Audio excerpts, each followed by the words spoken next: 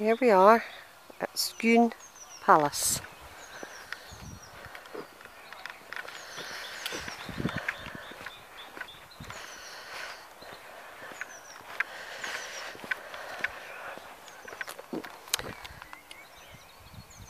That's a place I wandered yesterday.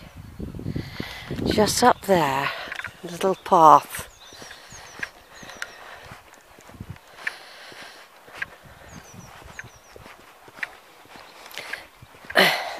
Murrays and the Grahams. I think they were reavers in the past. I've got a feeling Joe's family's connected to the Grahams.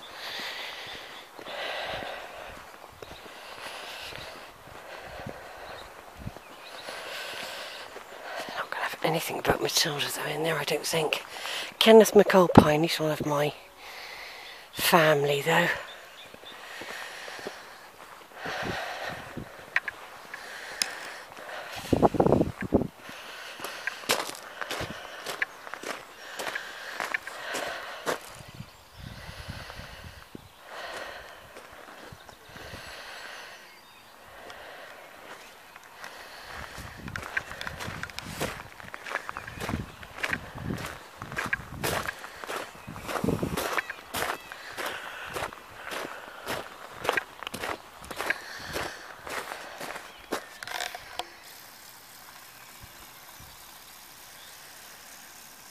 There's a pretend deer.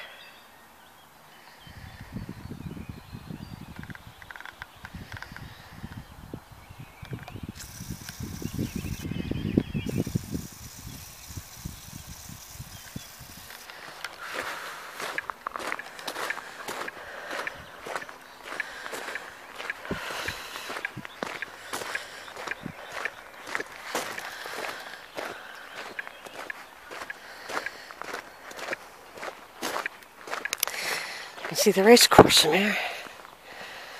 There's the chapel.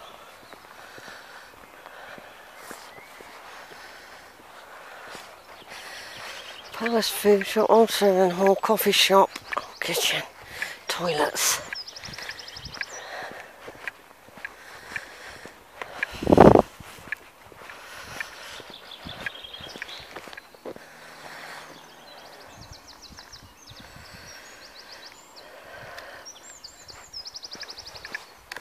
This is the site of the enthronements of the kings of Scotland and of Scottish parliaments. The mound is said to have been formed by lords carrying earth in their boots. After swearing loyalty to their king on their own land, they deposited the soil to create the mound as we see it today. This is where David the First of Scotland, known as Saint David by the way, although he wasn't officially a saint, this mound here then is very, and here's the, the, the special seat of Scone. Scone. This is a replica by the way, they're still looking for the original. It could turn up in some farmer's field, see? Or be a part of a building. A replica of the stone upon which kings of Scotland were crowned on Moot Hill until 1296 when Edward I took the stone to Westminster Abbey. Oh, so they do know where it is then. So they would sit on there and be crowned. Shall I sit on it? As, let me have a little sit. There. I am sat on the Scone Stone where the kings of Scotland were enthroned, including David I of Scotland. This happened all the way up until the times of James I, when everyone then it moved. The, the, the crowning moved to Edinburgh, I believe. Macbeth was enthroned here in 1040.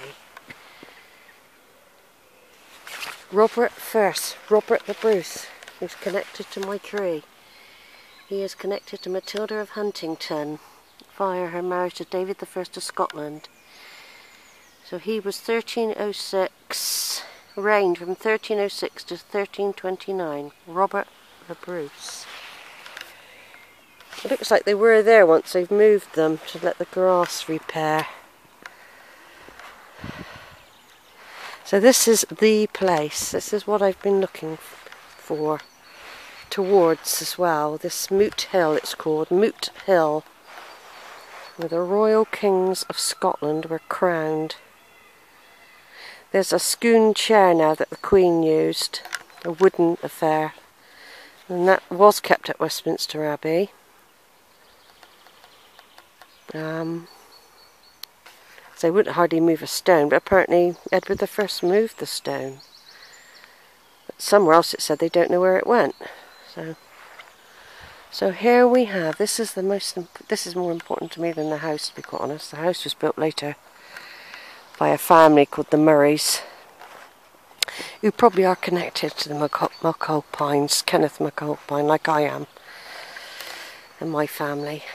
Oh, look, little font part of the original chapel, I should imagine. It looks old enough to have been. Though it does look a bit of a separation unless it's been restored at some point. So let's just zoom in on the stone again.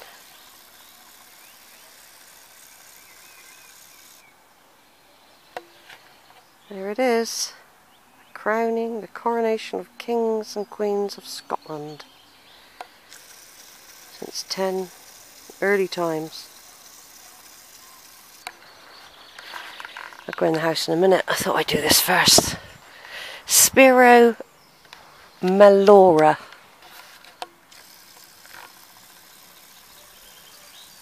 Whatever that means in the spirit of something or other. Right. What would I say? Put your hands inside like that, Sheila.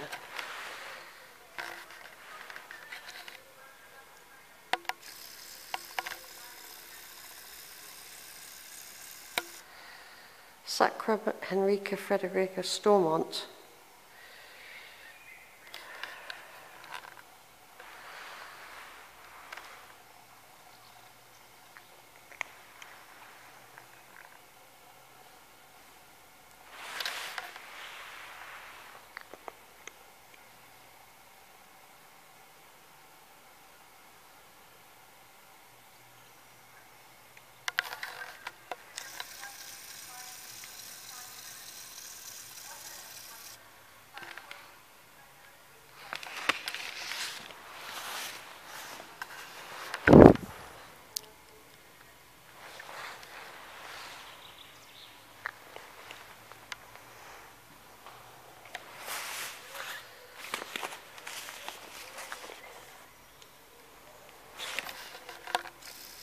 Expect all this is in the guidebook, the interpretation of this Latin. those birds are making that noise all night. I want, I want to know what they are actually.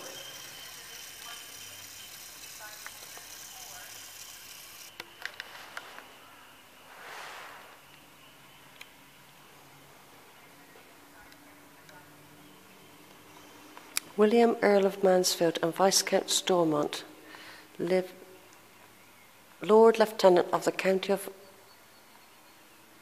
Clackmannan, son of David Earl of Mansfield and Louisa Countess of Mansfield, and his wife and great nephew and heir of William Duran.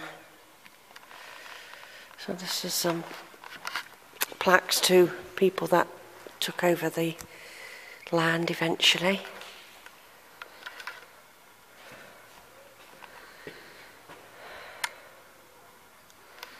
Right, over and out.